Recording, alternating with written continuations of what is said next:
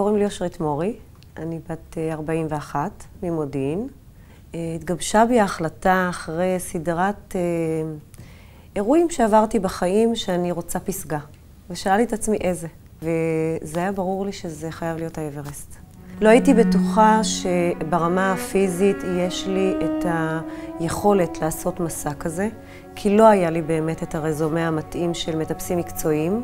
הרצון לעשות את המסע הזה בא מתוך איזשהו הר געש שהיה פעיל אצלי, והייתי צריכה לתת לו ביטוי.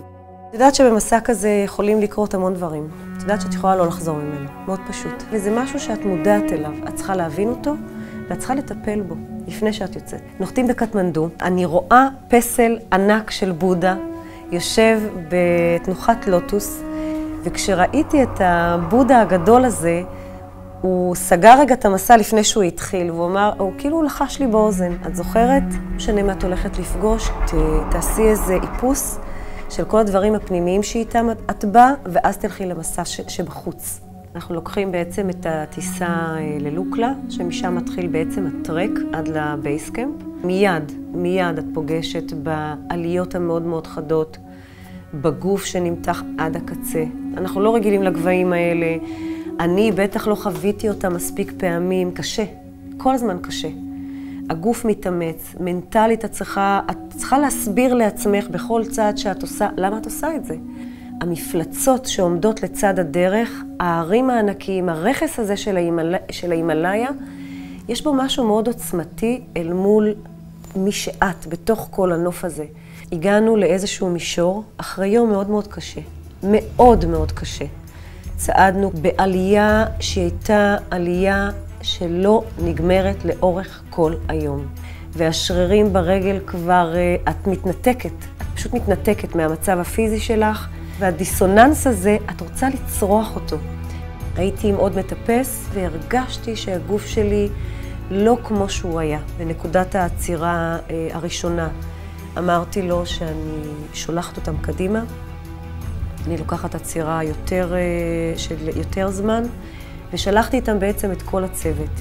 זה לא היה שיקול דעת נכון מבחינתי, והוא התקדם. עם השרפה והפורטר והצוות בעצם שהיה איתנו, ואני נשארתי בנקודת ההגינה האחרונה לבד.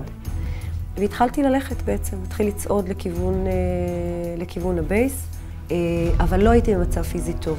הבנתי את זה כשראיתי את הפנים של המטפסים שירדו מה base camp.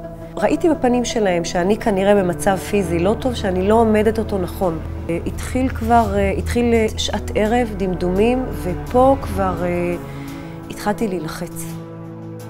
מזג האוויר יכול לצנוח בצורה מאוד מאוד דרמטית ברגע שהשמש נעלמת. אין לי אף אחד לתקשר איתו, אין לי דרך לתקשר עם הקבוצה.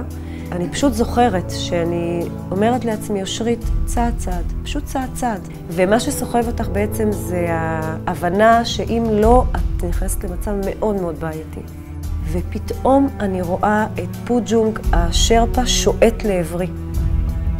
פשוט רץ לעברי. ומיד צועק בקשר, I found her, I found her, היא פה על השביל. את מבינה שאת יכולה לשחרר אחיזה מנטלית? יש מישהו כאן. אני מתרסקת לתוך הידיים שלו, מחבק אותי מאוד מאוד חזק, הוא בודק מה המצב, הוא משקה אותי במים, ואנחנו ממשיכים להתקדם לכיוון ה base camp. אני רואה את כל חברי הקבוצה מסתכלים עליי מבועתים.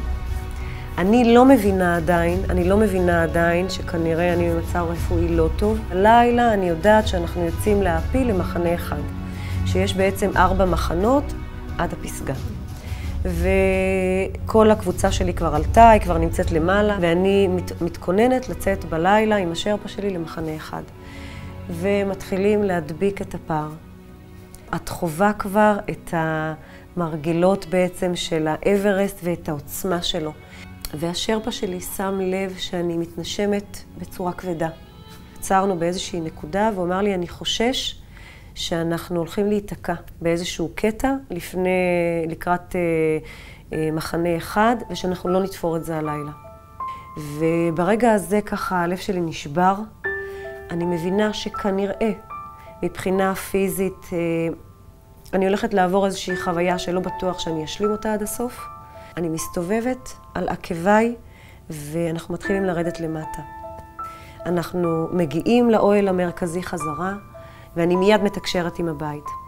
אני שומעת מהגרוש שלי משהו, משהו לא טוב קורה בבית.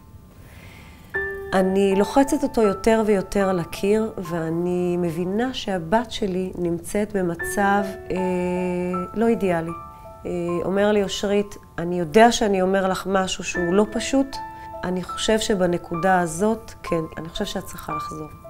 המשמעות שאת נשארת זה עוד חודש קדימה, זה לא משהו שיסתיים בעוד כמה ימים. ומצד שני, את יודעת שיש שם ילדה שמבחינתי הדבר היחיד שבעצם אה, צמח בי באותו רגע זה חמלה. כל המסע התגמד, הכל הפך להיות משני. כל אחד מאיתנו עבר חוויה בתוך המסע הזה, וזו הייתה החלטה לוותר על הפסגה הפיזית לטובת פסגה אחרת, שהיא הייתה הפסגה האמיתית מבחינתי. ברגע שסגרתי בעצם את ההחלטה הזאת והנחתי אותה מאחוריי, ישבתי לבד עם ערימה של גלילי נייר טואלט ופשוט בכיתי את עצמי למוות. זה היה רגע של השלמה, אה, של סיום מסע באופן שהוא נכון עבורי. זה היה הרגע הזה, זה היה רגע של בכי של לשחרר, להשאיר את הכל שם, משהו התנקה, משהו התיישר. הגעתי בעצם חזרה לשדה, והבודה, הבודה הזה הגדול שפגשתי, הוא, הוא היה בתוכי. ואחרי שחזרתי מהמסע, קעקעתי בין השכמות שלי את פרח הלוטוס, וזו החותמת של המסע, זה הבודה בעצם, הוא, הוא נבע מתוכי. יש עדיין משהו שנשאר אה, שם, בהימאליה, ואני לא יודעת עדיין, אה, אני לא יודעת עדיין איך, איך לגשת אליו. אני ממליצה לכל אחד שיש לו איזה קול שקורא לו, והוא מאוד חזק, והוא לא יכול לסגור את האוזניים מלשמוע אותו, ללכת אחרי הקול הזה, ולבדוק מה, מה הוא רוצה לספר לך. כן, להגשים את החלום הזה, ללכת ולעשות, אתה לא יודע מה יהיה לך.